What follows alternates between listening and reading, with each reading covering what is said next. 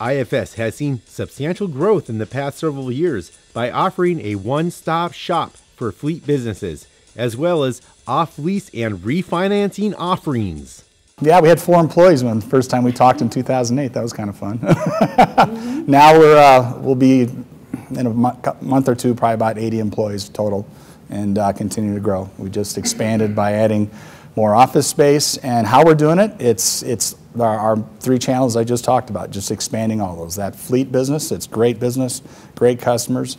Uh, word of mouth, uh, drivers talk to each other, so even if they get their package and say they're getting a new car, would they buy their old one? You know, they sometimes don't see it, but someone else say, hey, did you talk to IFS for financing or buying a service contract?